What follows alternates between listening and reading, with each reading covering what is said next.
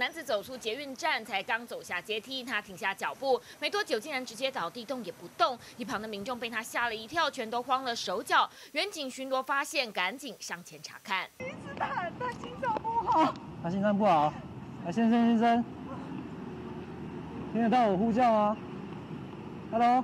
他的妻子在旁边相当着急，远警发现男子仍有微弱呼吸脉搏，在一一九救护人员到场前尝试拍肩唤醒男子。他的太太说，当天两人走出捷运站，她忙着要去找公车站牌，回头看到丈夫面部朝下趴在地上的瞬间，吓到六神无主。还好远警伸手援助，要民众呢打一一九，而且呢依照 CPR 流程逐步检视男子的状况。似乎听到远警呼喊，男子奇迹般顺利的恢复意识，稍事休息之后后。呢，可以简单对答。最后，在远景的协助下，也到医院做检查。